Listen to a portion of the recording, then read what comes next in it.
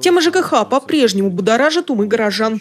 На наиболее актуальные вопросы в пятницу ответил начальник департамента жилищно-коммунального хозяйства региона. Сейчас в Ивановской области полным ходом идет лицензирование управляющих компаний. Завершится процесс в мае. Лицензионная комиссия в декабре месяца 2014 года полностью сформирована. Состоит из 12 человек. А, вчера был проведен, проведен первый квалификационный экзамен.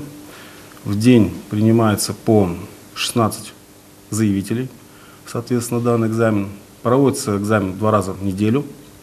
И до 15 марта планируется, что все заявители пройдут данную аттестацию и получат, соответственно, при положительном решении лицензионной комиссии свои квалификационные аттестаты.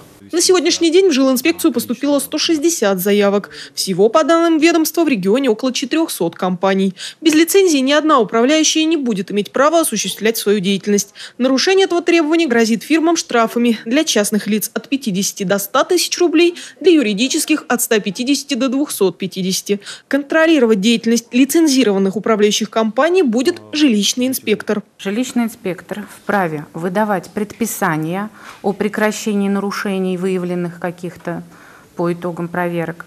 Также он вправе выдавать предписания об устранении и проведении мероприятий в целях обеспечения надлежащего исполнения законодательства.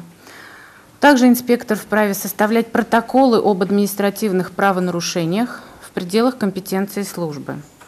И опять же, инспектор имеет право направлять в уполномоченные органы материалы, связанные с выявленными нарушениями, в том числе для решения вопросов о возбуждении уголовных дел по признакам преступлений, если они выявлены. Но это не значит, что по любым коммунальным проблемам жильцы должны обращаться к инспектору со всеми вопросами по-прежнему в управляющую компанию, но в письменном виде, чтобы потом, в случае неисполнения компании в срок своих обязанностей, жилинспекция могла принять меры. Наталья Гутарина, Андрей Семиволков, РТВ Иванова.